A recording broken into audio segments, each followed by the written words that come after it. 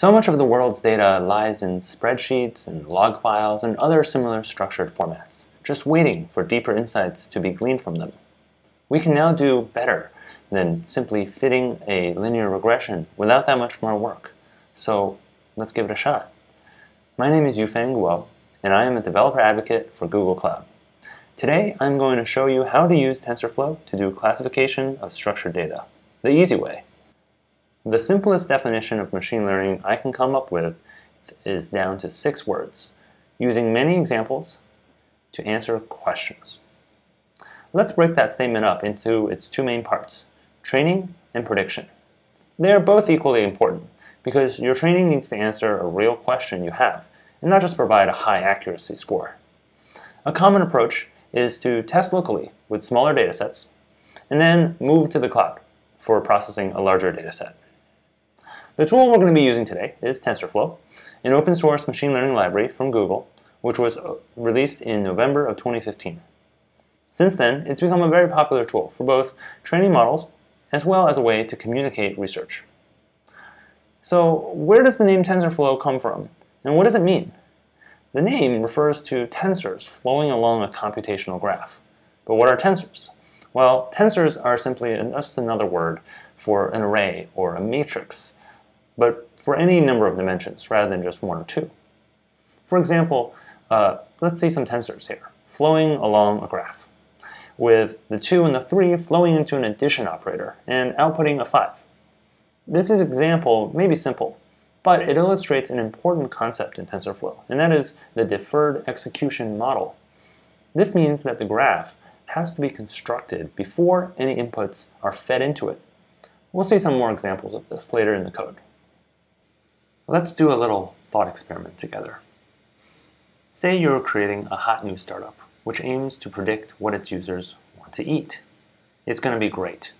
Here's the plan. Someone says to the app, I want fried chicken. And they get some, say, chicken waffles. Completely original, I know. Naturally, you launch and iterate it.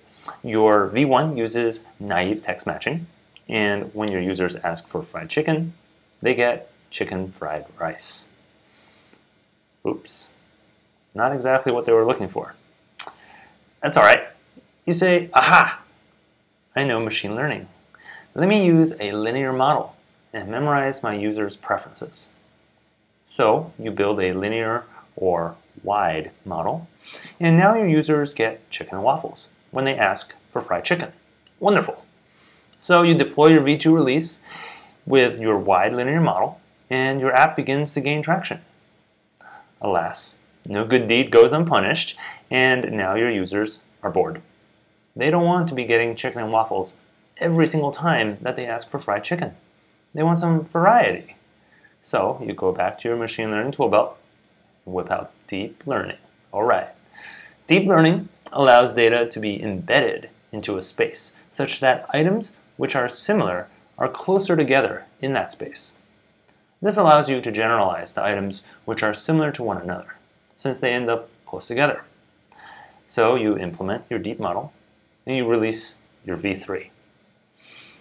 As we're beginning to see, your users are quite picky, and naturally, now that you have created a version that generalizes well, when your users ask for something like a, say, iced decaf latte with non-fat milk, your app sometimes delivers them a hot latte with whole milk not quite what we want. So, how do we balance the requests of users, both specific requests and general requests, and not bore them? A few years ago, Google Research published a paper which provided a way to balance these two models and their benefits, which are one side good at memorization, aka a wide model, and the models that are good at generalization, deep models. They call the model wide and deep. And an implementation is available, built into TensorFlow, ready for your dataset to be plugged into.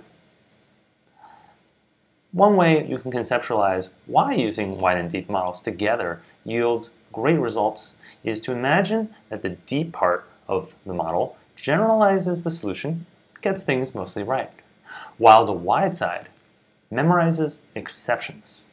This allows for the overall model to have greater accuracy than either one could alone, as they are covering for each other's weaknesses. So that's it for story time and our little thought experiment. Join me in part two of this video as we dive into the TensorFlow code and see how this can be implemented. And the tool we're going to use today is TensorFlow, a machine library, a machine learning li The tool today, the tool I'm going to be, wow,